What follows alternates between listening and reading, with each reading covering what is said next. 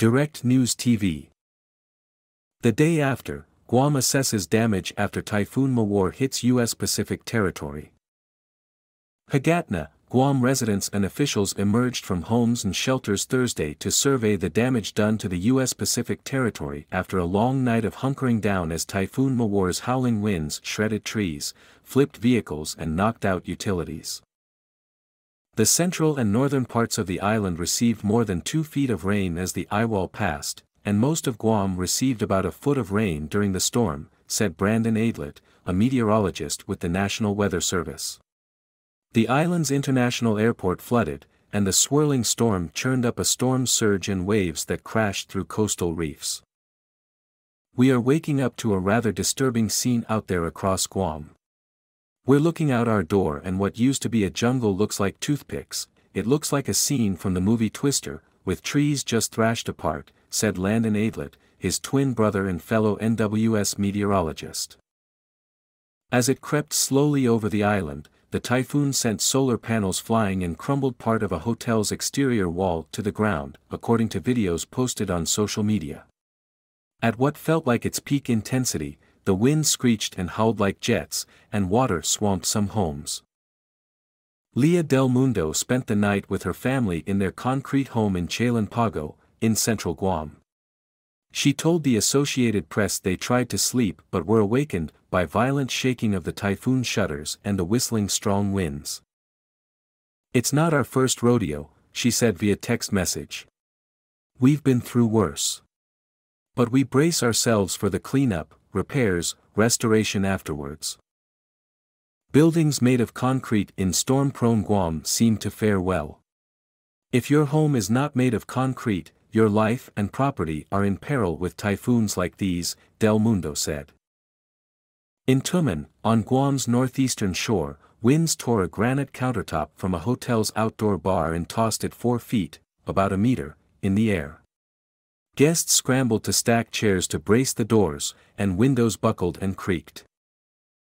The scope of the damage was difficult to ascertain early on, with power and internet failures making communication with the far-flung island difficult. Governor Lou Leon Guerrero and Lieutenant Governor Josh Tenorio were assessing the situation after the island received the full brunt of the typhoon overnight, emergency management officials said in a statement. They planned a driving tour to look for any major damage or blocked roadways.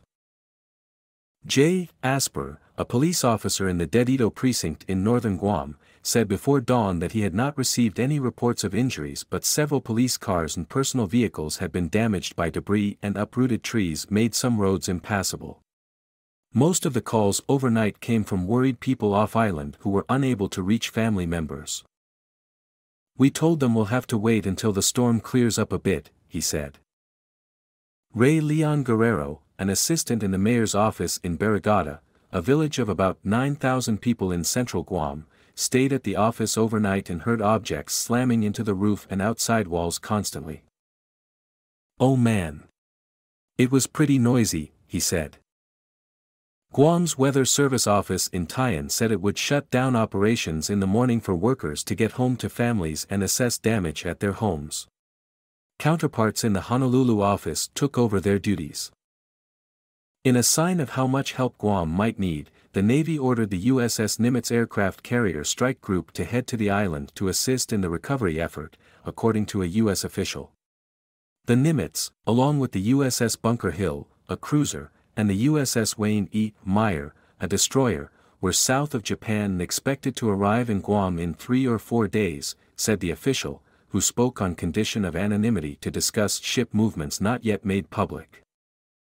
Guam is about 3,800 miles, 6,115 kilometers, west of Hawaii and 1,600 miles, 1,575 kilometers, east of the Manila, the capital of the Philippines. By early Thursday, Mawar was centered 75 miles, 121 kilometers, northwest of Guam and 85 miles, 137 kilometers, west of Rota, Guam's neighbor to the north, moving west-northwest at 8 miles per hour, 13 kilometers per hour. Power was also knocked out for all of Rota, the Commonwealth Utilities Corporation said late Wednesday. The island has about 2,500 residents, according to the U.S. Census Bureau. The storm strengthened to 150 miles per hour, 241 kilometers per hour, winds Thursday to regain its status as a super typhoon, according to the Weather Service.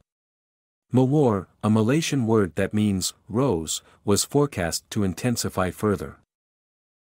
After moving away from Guam, the storm is expected to track generally northwest over a large, empty of expanse of ocean for days, and it could threaten Taiwan next week. Guam is a crucial hub for U.S. forces in the Pacific, and the Department of Defense controls about a third of the island. Rear Admiral Benjamin Nicholson, Joint Region Marianas Commander, authorized the evacuation of defense personnel, dependents and employees from areas that were expected to be affected. The military said it moved its ships out to sea as a standard precaution. It also sent aircraft off the island or placed them in protective hangars. About 6,800 U.S. service members are assigned to Guam, according to the Pentagon. My name is Kingsley. Please like, share, subscribe and hit that notification bell so you can be the first to be notified whenever we post you won't regret it.